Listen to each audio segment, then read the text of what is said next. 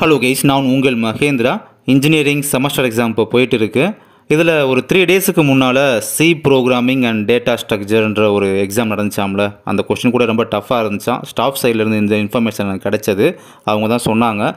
அதில் பார்த்தீங்கன்னா உங்களுக்கு கிரேஸ் மார்க் கிடைக்க சான்சஸ் இருக்குது அப்படின்ற ஒரு அப்டேட் கொடுத்துருந்தாங்க. எனக்கு இன்ஃபர்மேஷன் வந்தது உங்களுக்கு அப்படியே நான் ஷேர் பண்ணுறேன் அதில் வந்து இந்த eleven B eleventh B question attend பண்ணியிருந்தீங்க. நீங்கள் அட்டன் பண்ணியிருந்தீங்க அப்படின்னா உங்களுக்கு வந்து கிரேஸ் மார்க் கிடைக்க சான்சஸ் இருக்கான் அதில் வந்து ஏதோ F of W X Y Z வரணுமா?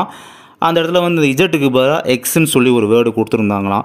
பட் இது மூலமாக அவங்களுக்கு வந்து கிரேஸ் மார்க் கிடைக்க சான்சஸ் இருக்குது அப்படின்ற அப்டேட் ஒரு கொடுத்துருந்ததுனால அதை உங்களுக்கு வந்து நான் இப்போ ஷேர் பண்ணுறேன் அந்த எக்ஸாம் வர டஃப்னு அவங்க சொல்லியிருந்தாங்களா? ஸோ அப்போ டஃப்பாக உங்களுக்கும் அவங்களே சொல்லும் போது உங்களுக்கும் எக்ஸாம் எழுதுனவங்களும் டஃப்பாக தான் உங்களுக்கும் ஃபீல் பண்ணியிருப்பீங்க. ஸ்டாஃப் சைட்லேருந்து சொல்லும் போது இல்லையா?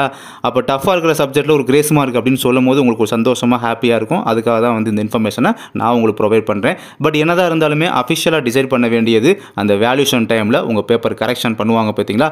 அந்த டேல தான். அன்றைக்கி அஃபிஷியலாக சொல்லும் போதும் இதே சேனலில் வந்து நான் வீடியோ வந்து போஸ்ட் பண்ணுறேன் தேங்க்யூ